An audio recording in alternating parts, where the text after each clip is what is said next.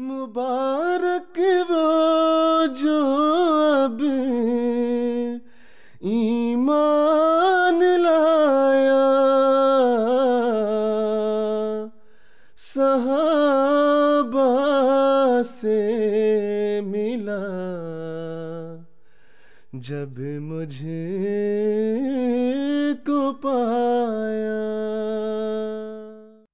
आउज़बिल्लिमिनशैतानरजीम बसमीम नाजरीन कराम, प्रोग्राम असहाब अहमद लेकर आपकी खिदमत में हाजिर हैं।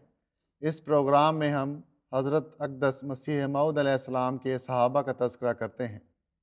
और आज का हमारा प्रोग्राम मसीह मऊद के इब्तदाई सहाबा में से ताल्लुक़ रखने वाले एक मुखलिस सहाबी, हज़रत ख़ान बहादुर ग़ुलाम मोहम्मद ख़ान साहिब गिलगिती रज़ी तु के बारे में है। और इस प्रोग्राम में मेरे साथ मुकरम सुहेल अहमद साकिब साहिब और हाफिज़ हिबतरहमान साहिब होंगे।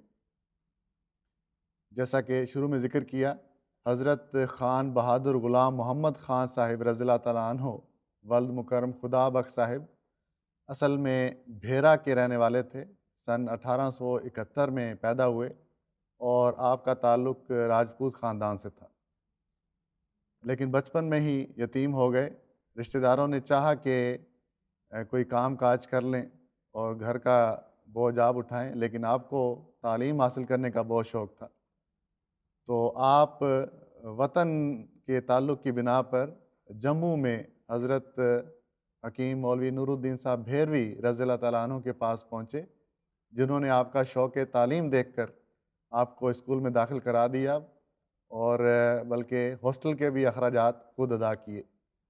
वहाँ आपने रमबीर हाई स्कूल जम्मू में तालीम हासिल की और उसके बाद मुलाजमत के सिलसिले में सन अठारह सौ बानवे में ही गिलगित तशरीफ़ ले गए। चूँकि आपने एक लंबा अरसा गिलगित में गुजारा, इसलिए आप गिलगिती के नाम से ज़्यादा मशहूर हैं, गो कि आप असल में भेरा के रहने वाले थे। जी, अभी अभी आपने जैसा कि ज़िक्र किया कि हज़रत ख़ान बहादुर ग़ुलाम मोहम्मद ख़ान साहब रज़ी अल्लाह ताला अन्हो भेरा के रहने वाले थे। और इस हवाले से हज़रत हकीम मौलाना नूरुद्दीन साहब भेरवी रज़ी अल्लाह अन्हो के साथ आपकी एक ख़ास अकीदत का ताल्लुक़ था। और हज़रत अकदस मसीह मऊद वसलाम के साथ भी आपका एक वहाँ से एक ताल्लुक़ इस तरह भी बना कि एक दफ़ा हज़रत अकदस मसीह मऊद वसलाम सियालकोट तशरीफ़ लाए हुए थे तो हज़रत हकीम मौलाना नूरुद्दीन साहब भेरवी रज़ी अल्लाह ताला हो हज़रत अकदस मसीह मऊद वसलाम से मुलाकात की गरज से सियालकोट तशरीफ़ लाए। और इसी असना में आप जिस तरह ज़िक्र किया गरमबीर हाई स्कूल में आप तालीम हासिल कर रहे थे तो वहाँ मुफ्ती मोहम्मद सादिक साहब और मौलवी मोहम्मद सादिक साहब ने इस गरज से कि आप सियालकोट जाएँ और वहाँ हज़रत हकीम मौलाना नूरुद्दीन साहब भेरवी रज़ी अल्लाह ताला को एक ख़ास पैगाम या रुका देकर भिजवाया कि वहाँ जाएँ और ये फ़ौरी उनको देकर आएँ। तो हज़रत ख़ान बहादुर ग़ुलाम मोहम्मद ख़ान साहब रज़ी अल्लाह ताला ज़िक्र करते हैं कि मैं अपने क्लास फ़ेलो के साथ सियालकोट चला गया और गरज़ यही थी कि वो जो रुका था जो इस की तरफ़ से आपको मिला था कि मैं जाकर हज़रत हकीम मौलाना नूरुद्दीन साहब भेरवी रज़ी अल्लाह ताला को दे कर आऊँ तो कहते हैं कि मैं जब पहुँचा हूँ तो मैंने देखा कि नमाज़ मगरब का वक्त था और हज़रत मसीह मौत वसलाम चंद असहाब के साथ तशरीफ़ फरमा थे और आप गोया कि एक मजलिस लगी हुई थी जिसमें कुछ दीन की बातें हो रही थी। और हज़रत अकदस मसीह मौतलाम जो ज़िक्र कर रहे थे वो मुक्तदियों के सूरत फ़ातह पढ़ने के हवाले से था कि क्या मुक्तदियों को सूरत फ़ातह पढ़नी चाहिए या नहीं पढ़नी चाहिए। तो ये वो उस वक्त का वाक़ या उसको बयान करते हैं कि मेरी हज़रत हकी, हज़रत मसीह मौतम के साथ इब्तदाई मुलाकात किस तरह हुई है? हज़रत ख़ान बहादुर ग़ुलाम मोहम्मद ख़ान साहब रज़ी तु इब्तदाई बैत कुनंदगान में शामिल थे। और आप अपनी बैत का वाक़ कुछ यूँ बयान करते हैं कि हज़रत हकीम मौलवी नूरुद्दीन साहब भेरवी रज़ी तु जैसा कि ज़िक्र हुआ कि वो आपकी सरपरस्ती भी करते रहे। तो उन्होंने आपको हज़रत मुफ्ती मोहम्मद सादिक साहब रज़ी तु की माइत में उनके साथ कादियान भेजा। तो चुनाचे ये कादियान पहुँचे हैं और हज़रत मुफ्ती मोहम्मद सादिक साहब रज़ी तु तो उस वक्त तक बैत कर चुके थे। चुनाचे अगले दिन मस्जिद मुबारक में हज़रत ख़ान साहब को बैत की सादत हासिल हुई है। और ये पहला कादियान में बैत के बाद का वाक़ है। तो वहाँ कुछ दिन हज़रत ख़ान साहब ने क्या फरमाया और उसके बाद फिर जो जब हुजूर लाहौर तशरीफ़ लाए हैं तो हुजूर के साथ ही लाहौर तशरीफ़ ले आए हैं। और दो हफ़्ते के करीब लाहौर में वक्त गुजारा है। और हज़र मुफ्ती साहिब हज़र मुफ्ती मोहम्मद सादिक साहिब रज़ी तु फिर जम्मू तशरीफ़ ले ले जा चुके थे। तो हज़रत मुफ्ती मोहम्मद सादिक साहिब रज़ी तु ने इस वाक़े का ज़िक्र अपनी किताब ज़िक्र हबीब में भी फरमाया है। आपका ज़िक्र रजिस्टर बैत उला में बीस जनवरी सन अठारह सौ बानवे की तारीख़ के तहत दर्ज है। और अल्फाज कुछ यूँ हैं कि ग़ुलाम मोहम्मद बिन खुदा बख्श मतवतन भेरा ज़िला शाहपुर। तो ये आपकी बैत का वाक़ है। जो रजिस्टर बैत उला में। रजिस्टर बैत हाँ उला में महफूज है। तो अठारह सौ बानवे के अप्रैल के महीने में आप दोबारा कादियान तशरीफ़ लाए हैं यानी कि बैत के दो तीन माह बाद दोबारा। कादियान आए हैं। उसके कुछ माह बाद यानी सन अठारह सौ बानवे के अगस्त के महीने में आपकी मुलाजमत गिलगित हो गई और आप फिर मुस्तकिल गिलगित तशरीफ़ ले गए। गिलगित में आपने एक लंबा अरसा गुजारा है और जनवरी सन अठारह सौ अठानवे की बात है कि एक दफ़ा आप छुट्टियाँ लेकर अपने घर भेरा जा रहे थे। तो घर जाने से पहले आपने कादियान आने का फ़ैसला किया और कादियान आकर हुजूर की खिदमत में कुछ वक्त गुजारा है। तो अभी वहाँ चंद दिन गुजारे थे कि आपका एक तायाजाद भाई, उसको पता चला कि इस तरह खान साहब कादियान में तशरीफ़ फरमा है। तो वो इनको मिलने के लिए आ गया कि चलें इनको साथ लेकर वतन वापस चलते हैं। तो हज़रत ख़ान साहब ने हुजूर की खिदमत में अर्ज़ किया कि हुजूर जाने की इजाज़त है। तो हुजूर ने फरमाया, नहीं, अभी कुछ दिन और ठहरें। तो चुनाचे आप कुछ दिन और कादियान ठहरे, उसके बाद फिर वतन वापस पहुँचे हैं। वतन पहुँचने पर भेरा में आपकी शादी हज़रत खदीजा बेगम साहब, साहिबा रज़ी तह से हुई। और शादी के दो हफ़्ते बाद आप अपनी अहलिया को और खुशदामन को, दोनों को लेकर कादियान आए हैं और उनकी भी बैत करवाई है। तो ये हज़रत ख़ान साहब के अपने और अपने घर वालों की बैत का अहवाल है कि किस तरह उन्होंने बैत की। जैसा कि हमने ज़िक्र किया है कि हज़रत ग़ुलाम मोहम्मद ख़ान साहब रज़ी तु ने मुलाजमत के सिलसिले में एक लंबा हिस्सा ज़िंदगी का गिलगित में गुजारा है और वहाँ आप तरक्की करते करते बहुत ऊँचे अहदों पर पहुँचे पहुँचे हैं, माशाल्लाह। गिलगित के अलावा लद्दाख, लेह, ये जितने भी ऊपर के इलाके हैं वहाँ आपको मुलाजमत का मौका मिला है। और चूँकि एक दूर दराज का इलाका है कादियान से, और अठारह सौ बानवे में, शुरू में ही आप वहाँ जा चुके थे तो अहमदियत को भी आपने, अहमदियत की भी बड़ी तबलीग की है उस इलाके में। मसीह मौदलाम की किताबें अक्सर आपके पास होती थी। बाद में जब अलहकम और बदर जारी हुआ तो वो भी आपके नाम आते थे। तो इस तरह उन इलाक़ों में हज़रत मसीह का पैगाम पहुँचाने का मुजिब बने हैं। उसमें ख़ास तौर पर दो नामों का मैं ज़िक्र करता हूँ। तारीख़ अहमदियत में एक बहुत बड़ा नाम है, हज़रत मौलवी अब्दुलरहमान साहिब कटकी रज़ी हो जो असल में कश्मीर के रहने वाले थे और मुबलिक थे। इनको गिलगित के राजा ने अपनी जाम मस्जिद में इमाम मुकर किया था। तो ये वहाँ इमाम थे तो आपके साथ ताल्लुक़ बन गया और मुलाकात के लिए जब आपके घर तशरीफ़ लाते तो वहाँ मसीह मौदलाम की किताबें देखने को मिली और उनके मुताले से आहिस्ता आहिस्ता वो भी अहमदियत के कायल हो गए। लेकिन हज़रत ग़ुलाम अहमद ख़ान साहब रज़ी तु को बताए बग़ैर उन्होंने बैत का ख़त लिख दिया। ये उस दौर की बात है जब ही अभी हज़रत मसीह मसीम ने अलहदा नमाज़ पढ़ने का हुक्म नहीं फरमाया था कि गैर अहमदियों से अलग नमाज़ पढ़ा करें। तो जब उनकी बैत की कबूलियत का ख़त आया तो वो उन्होंने आपको दिखाया तो आप बड़े खुश हुए। लेकिन उन्होंने अपनी बैत ज़ाहिर नहीं की। कुछ अरसे बाद एक और मौलवी, जो पीर भी कहलाते थे, उन्होंने कोई किताब मांगी इनसे।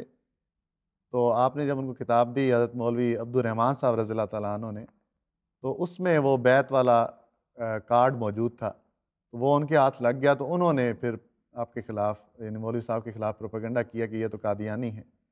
तो उसमें फिर मुखालफत की बिना पर उनको वो मस्जिद छोड़नी पड़ी और वो चले गए। उड़ीसा में उन्होंने तबलीग के ज़रिए बहुत बड़ा हिस्सा डाला है अहमदियत के फ़रोग में। तो 1944 में उनकी वफ़ात हुई। एक तो ये बहुत बड़ा नाम है जो हज़रत ग़ुलाम मोहम्मद ख़ान साहब रज़ी तु के ज़रिए अहमदियत में दाखिल हुए।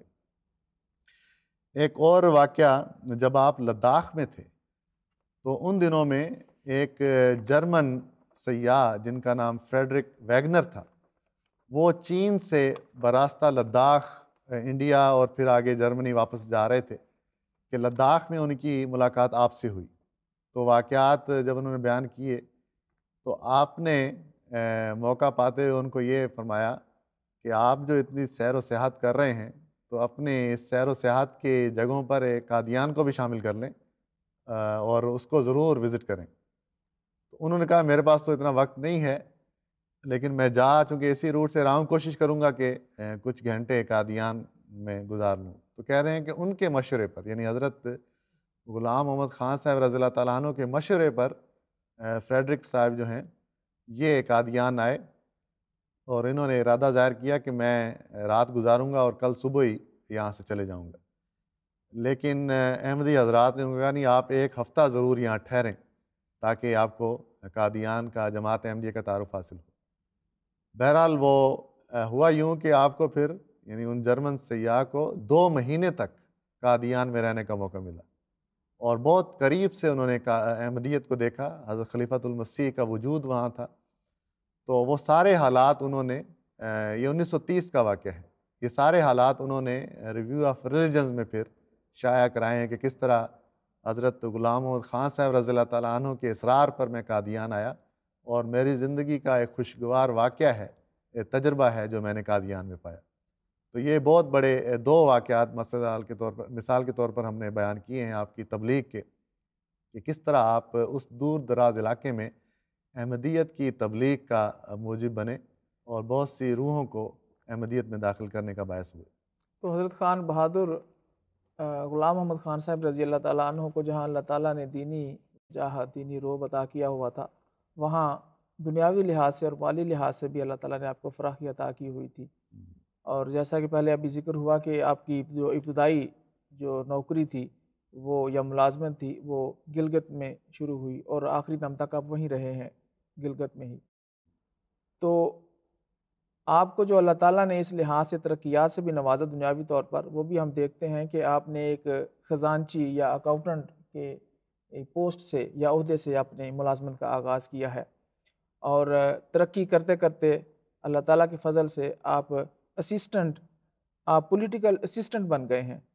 और कहते हैं कि पॉलिटिकल असिस्टेंट के बाद जो अहदे मिला करते थे, वो चूँकि अंग्रेज़ों का दौर था, अंग्रेज़ों की हुकूमत हुआ करती थी तो उसके बाद उन्हीं को अहदा मिला करता था। तो अपने जो हम वतन हैं या जो सब कॉन्टीनेंट या बर सग़ीर के जो रहने वाले लोग थे, जिन, जहाँ तक अहदे तक वो तरक्की कर सकते थे, अल्लाह ताला ने आपको उस अहदे तक तरक्की भी दी। और ये महज खुदा तला का फजल था और हज़रत अकदस मसीह मौतम की दुआएँ आपकी शामिल हाल थी। और जैसा कि पहले ज़िक्र हुआ कि जब भी आप भेरा तशरीफ़ ले जाते तो कादियान से होते हुए भेरा जाते, और कादियान में आपका रुकना होता हज़रत मसीह मौतम से मुलाकात होती, दीदार होता, आपकी सोबत में रहते, दुआएँ लेते, फिर जाते। और एक दफ़ा का ज़िक्र है कि हज़रत खान बहादुर, ग़ुलाम मोहम्मद खान साहिब रज़ी अल्लाह तु अपने इसी तरह के सफ़र का ज़िक्र करते हैं कि मैं रुखसत पर जा रहा था भेरा तो मैंने ख्याल किया कि अब मैं कादियान से होता हुआ भेरा जाता हूँ। तो जब कादियान पहुँचे हैं, हज़रत अकदस मसीह मऊद वसलाम के साथ आपकी मुलाकात हुई है, और मुलाकात के बाद आपने भेरा जाने की जब इजाज़त मांगी है तो हज़रत मसीह मौत वसलाम ने कहा, ठहरें। कुछ दिन ठहरे और कुछ दिन के बाद दोबारा दरख्वास्त की कि अब मैं इजाज़त चाहता हूँ, जाना चाहता हूँ। तो हज़रत मसीह मौत वसलाम ने दूसरी मरतबा यही कहा कि अभी और ठहरें। तो कहते हैं हज़रत खान बहादुर गुलाम मोहम्मद खान साहब रज़ी अल्लाह के इस दौरान मैंने बहुत दुआएँ की और बहुत दुआएँ करने का मौका मिला। और जो ख़ास दुआ उन दिनों में करता रहा, वो ये थी कि रब्बाना आतिना फ़ि दुनिया हसना। वफ़िल आखिरती हसना वकीना आज़ाब बनना। वो कहते हैं कि एक रात में सोया हुआ था, ये दुआ कसरत से मैं कर रहा था तो अल्लाह ताला की तरफ़ से यह गैबी आवाज़ मुझे आई कि उकबेलत, कि जितनी दुआएँ तुमने दुआएँ की हैं, वो अल्लाह ताला ने कबूल कर ली हैं। तो ये जो दीनी लिहाज से या दुनियावी लिहाज से आपको अहदे मिले, तरक्यात मिली, या दीनी लिहाज से आपको जो रोब अता हुआ, वो हज़रत अकदस मसीह मौद मऊद की दुआएँ थी, आपकी सोहबत थी। कि कादियान के बाबरकत बस्ती में आपकी सोहबत में आप दुआएँ करते रहे और अल्लाह ताला ने उनको कबूलियत की शर्फ से बख्शा। आते ना फिर दुनिया सनतन दुनिया में भी अल्लाह ताला ने आपको बहुत वजाहत और वकार अता किया और वफिल आखिरत हसनतन। मसीह मसीम की बैत और उसके ज़रिए जो तब्दीली आई और आपकी आखिरत संवरी आखिरत के जो जी संवरने के इसबाब हुए। जी बिल्कुल। अभी ख़ान साहब हज़रत ख़ान बहादुर ख़ान साहब रज़ी तु की रूहानी उनके मैार का ज़िक्र हुआ कि खुदा तल्ला की तरफ़ से उकबिलत का इशारा मिला। तो दुनियावी लिहाज से भी आप एक बहुत इल्म दोस्त आदमी थे। जहाँ कहीं भी गए हैं, आपने अपने ज़ाती ख़र्च पर वहाँ लाइब्रेरियाँ कायम की हैं और वहाँ इल्म का ज़ख़ीरा फैलाया है। और गिलगित, जहाँ आपने एक लंबा अरसा मुलाजमत का गुजारा है, वहाँ के हालात और वहाँ की रसूम व रवाज का भी बड़ा गहरा मुताला किया है। और फिर अंग्रेज़ी ज़ुबान में एक किताब festivals and folklore of Gilgit, यानी गिलगित के त्यौहार और अवामी रवायात, इस मौजू पर आपने एक किताब तहरीर फरमाई है, जो बाद, जिसका दूसरा edition national institute of heritage Islamabad ने शाया किया है। तो दुनियावी एतबार से भी आपने एक अच्छा इल्मी ख़जाना छोड़ा है। मुलाजमत का आखिरी हिस्सा आपने बहसीत सेटलमेंट कमिश्नर लद्दाख में गुजारा है। इसके अलावा मार्च सन 1908 में जब financial commissioner sir James Wilson Qadian तशरीफ़ लाए हैं और गुरदासपुर के डिप्टी कमिश्नर के साथ उन्होंने कादियान का दौरा किया है तो उस वक्त जमात के बहुत से अहबाब और मोज़ीन ने उनका इस्तकबाल किया है। उन मोज़ीन में हज़रत ख़ान ग़ुलाम मोहम्मद ख़ान साहब भी शामिल थे और आप उस वक्त पॉलिटिकल एजेंसी गिलगित में हेड क्लर्क के अहदे पर खिदमत, सर अंजाम दे रहे थे। तो ख़ान साहब उस मौके पर भी कादियान में शामिल रहे हैं। जी, ये यानी गिलगित में जो मुलाजमत है या लद्दाख में, लेह में आपका अरसा गुज़रा है तो जिस किस्म की आपने मुलाजमत की है, यानी जिस अमानत और दयानतदारी के साथ आपने अपने अहदों को निभाया है तो उसका इकरार करते हुए गवर्नमेंट ऑफ़ इंडिया ने आपको उस ज़माने में पहले ख़ान साहिब का ख़िताब दिया सन 1918 में और 1923 में आपको फिर ख़ान बहादुर का ख़िताब मिला। तो ये ख़िताब मिलना भी आपकी काबिलियत को ज़ाहिर करता है कि किस तरह आपने आपके अंदर जो सलाहियतें थीं उसके मुताबिक आपने अपने मुला- अपनी मुलाजमत को अपने फ़राइज़ को सर अंजाम दिया है। ये बहुत बड़ा एजाज़ हुआ करता जी ये उस समय बहुत बड़ा एजाज़ होता था कि गवर्नमेंट जो है वो ख़ान बहादुर का लक़ब किसी को देती थी। इसी बिना पर जो एडिटर अखबार अल हकम है, हज़रत शेख याकूब अली इरफानी साहब रज़ी अल्लाह ने, उन्होंने सात जनवरी 1924 के अखबार में आपको, आपके नाम मुबारकबादी लिखी है अपने अखबार में। चनाचे हज़रत शेख साहब लिखते हैं, इम साल जिन बुज़ुर्गों को खिताबात मिले हैं, उनमें से एक मेरे मोज़ व मोहतरम भाई ख़ान साहिब ग़ुलाम मोहम्मद ख़ान साहिब गवर्नर गिलगित हैं। यानी गवर्नर तक के अहदे तक भी आप गए हैं। पहले उनको खान साहब का खिताब दिया गया था और अब वो खान बहादुर बना दिए गए हैं। जमात अहमदिया की तरफ़ से खान बहादुर साहब को मुबारकबाद देता हूँ। तो ये भी बड़ा एज़ाज़ है कि आपको अल्लाह ताला ने यानी आपकी सलाहियतों की बिना पर, आपकी अमानत और दयानतदारी की बिना पर ये लकब जो हैं वो आपको अता किए हैं। और जैसा कि पहले ज़िक्र हो रहा था कि आप हज़रत अक़दस मसीह मौदलाम की सोबत से फैज़याब होने के लिए कादियान का कादियान बारहा आया करते थे। तो ये कादियान आना आपका सिर्फ़ हज़रत अक़दस मसीह मौदलाम के दौर तक महदूद नहीं रहा बल्कि खलीफ़तमसीह अव्वल खलीफ़तमसीह सानी खुलफा के साथ भी आपके आ, के साथ भी आपकी वही मोहब्बत और अकीदत हमें नज़र आती है। और इस हवाले से हमें पता लगता है कि एक दफ़ा 1919 या 1920 के शुरू में आप कादियान तशरीफ़ लाए हैं और कुछ लंबा क़्याम कादियान में किया है। और कहते हैं कि इसी दौरान आपने कादियान में अपना मकान भी बनवाया और उस मकान का जो नाम है वो भी गिलगित हाउस रखा। वो है गिलगित हाउस के नाम से आप मरूफ थे और उसी ना, उसी हवाले से आपने मकान भी बनवाया।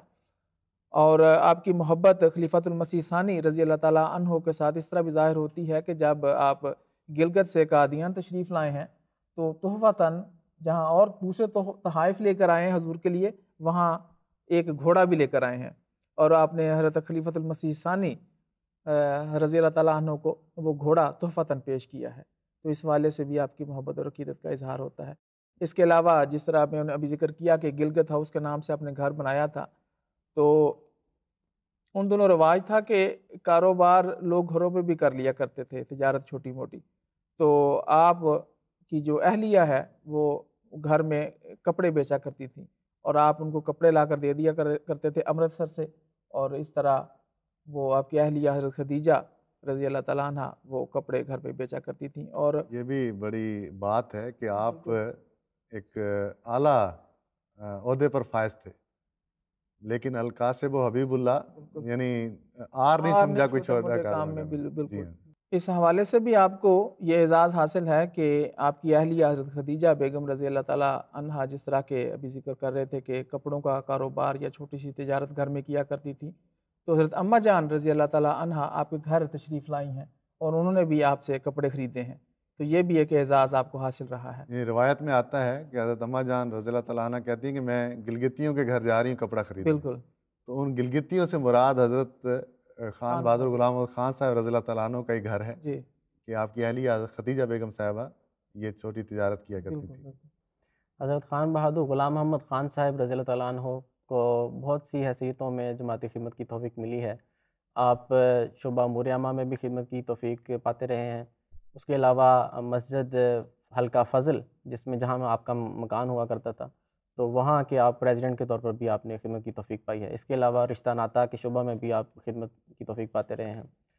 तो और मरकज़ी जो शूरा हुआ करती थी हर साल, उसमें भी आप कादियान में जब आगे हैं तो कादियान की तरफ़ से, उस हलके की तरफ़ से नुमाइंदे के तौर पर शामिल होते रहे हैं। उसके अलावा सन 1928 में लद्दाख में जब आप थे तो लद्दाख की तरफ़ से नुमाइंदे के तौर पर तशरीफ़ लाए हैं। हज़रत ख़ान साहब ने माली लिहाज से भी बहुत कुर्बानियाँ पेश की हैं और उसमें पेश पेश रहे हैं। ये इब्तदाई ज़माने की बात है कि जब मुश्किल हालात हुआ करते थे तो उस वक्त जब ज़्यादा चंदों की ज़रूरत होती थी, ज़्यादा माली कुर्बानी की ज़रूरत होती थी तो हज़रत ख़ान साहब उस वक्त भी पीछे नहीं हटे, बल्कि गिलगित जो बहुत दूर का इलाका है, वहाँ से भी आप बाकायदा अपना चंदा भिजवाते रहे हैं और इसमें कभी कोई तसाहुल वाक़ नहीं हुआ। और आपको वसीयत की भी तोफ़ी मिली है और जब आप कादियान शिफ्ट हो गए हैं रिटायरमेंट के बाद तो उस वक्त भी कादियान की ज़मीन में से भी अक्सर हिस्सा आपने जमात को पेश कर दिया है। तो ये वो माली खिदमात हैं जो आपने जमात के लिए पेश की हैं। ये यानी जब आप रिटायर हुए हैं अपनी मुलाजमत से तो कादियान हिजरत करके आ गए और यहाँ मस्जिद फ़ज़ल, हल्का मस्जिद फ़ज़ल में आपने घर बनवाया है। और ये हमने शुरू में ज़िक्र किया था कि आपकी शादी हज़रत खदीजा बेगम साहिबा रज़ी अन्हा के साथ हुई, जो भी भेरा की रहने वाली थी। अठारह में उनके साथ शादी हुई तो आपने ज़िक्र किया था कि वापसी पर कादियान से उनकी बैत करा कर फिर आप गिलगित गए हैं।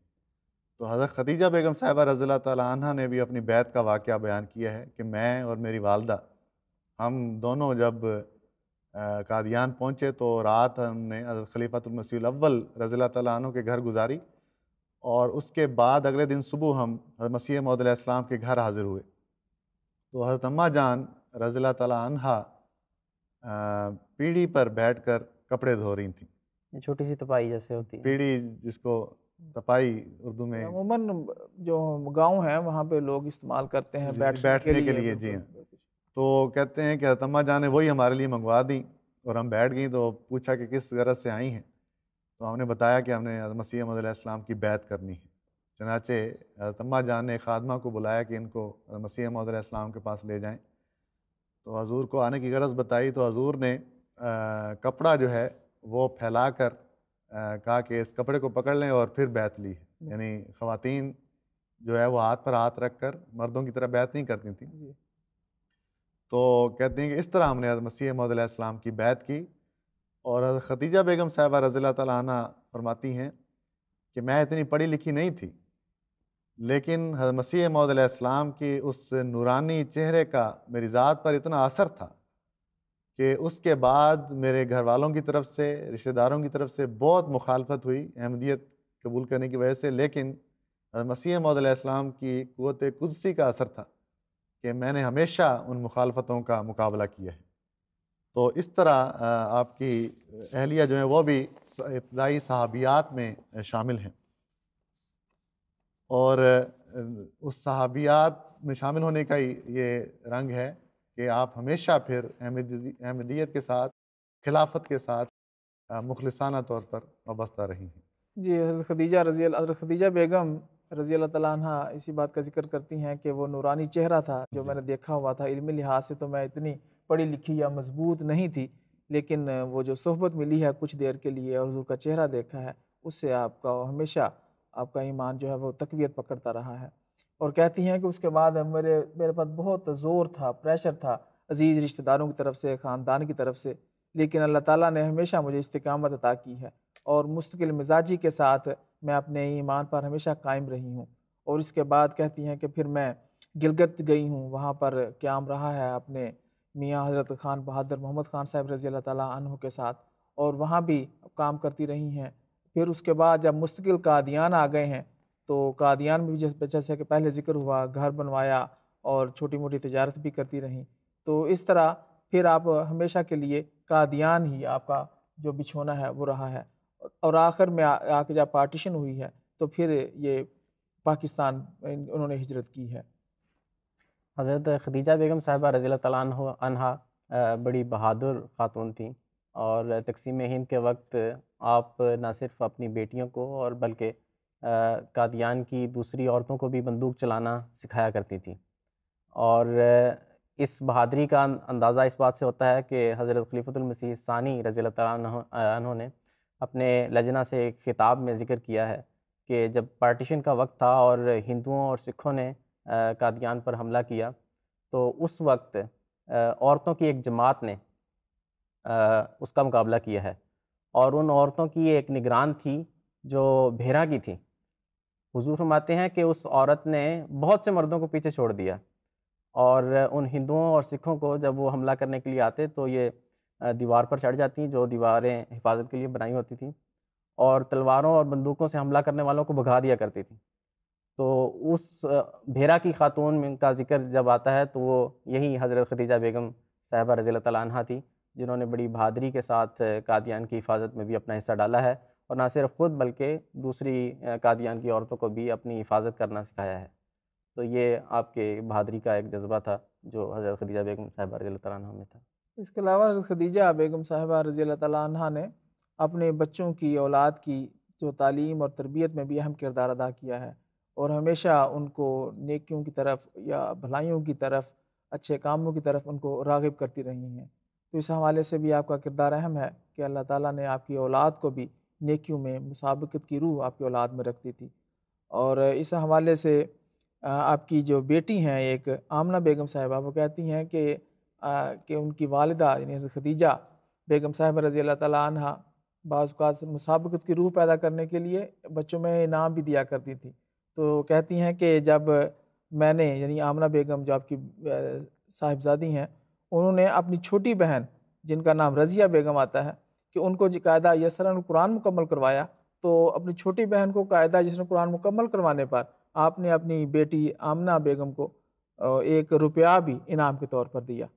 तो गोया छोटा मोटा इनाम भी इस गरज से आप बच्चों को दिया करती ताकि उनके अंदर एक मुसाबकत की रूह जो है वो कायम रहे। तो ये हज़रत ग़ुलाम मोहम्मद ख़ान साहब भैरवी रज़ी तन हो जो गिलगिती भी मशहूर थे, और उनकी अहलिया खदीजा बेगम साहिबा रज़ी तला का तस्करा था। हज़रत ग़ुलाम मोहम्मद ख़ान साहब रज़ी तहों ने 26 जून सन उन्नीस सौ छप्पन को भेरा में वफ़ात पाई, और चूँकि मूसी थे तो आपकी तदफीन बश्ती मकबरा रवा में हुई है। इसी तरह आपकी अहलिया हज़रत खदीजा बेगम साहिबा रज़ी तहा ने 11 जुलाई सन उन्नीस सौ इकहत्तर को वफ़ात पाई और उनकी तदफीन भी बश्ती मकबरा रवा में हुई। आपकी औलाद में आठ बेटियाँ और तीन बेटे थे जिनके नाम मैं पढ़ देता हूँ। रसूल बीबी साहिबा अलिया हज़रत शेख मुबारक इस्माइल साहब, बी ए, बी बेटी ये बेटी थी बड़ी, मोहम्मद यूसुफ़ खान साहब अलीग ये बेटे थे। सुगरा बीबी साहिबा अलिया डॉक्टर सैयद इनायतुल्ला शाह साहिब। हमीदा बेगम साहिबा अलिया शेख मसूद अहमद साहिब। आमना बेगम साहिबा अलिया मियाँ हादी अली ख़ान साहिब, इबन हज़रत जुल्फ़ार अली ख़ान साहब गोहर रज़ी तु इकबाल बेगम साहिबा, खुर्शीद बेगम साहिबा, मोहम्मद बशीर ख़ान साहिब। अकीला बेगम साहिबा अलिया बाबू अताउल्ला साहिब वल्द हज़रत बाबू इलाही बख्श साहिब समड़यालवी रज़ी तु रज़िया बेगम साहिबा अलिया मियाँ अब्दुल कयूम साहिब और मोहम्मद इब्राहिम ख़ान साहिब। तो ये तस्करा था हज़रत ख़ान बहादुर ग़ुलाम मोहम्मद ख़ान साहिब रज़ी तु का। अल्लाह ताला उनकी मगफ़रत फरमाए और दर्जात बुलंद करता जाए और हमें भी ऐसे बुज़ुर्गान के नक्श कदम पर चलने की तोफ़ी दे। नाजरीन कराम इसके साथ ही आज का प्रोग्राम ख़त्म होता है। आपसे इजाज़त चाहते हैं। अस्सलामु अलैकुम वरहमतुल्लाहि वबरकातुहू।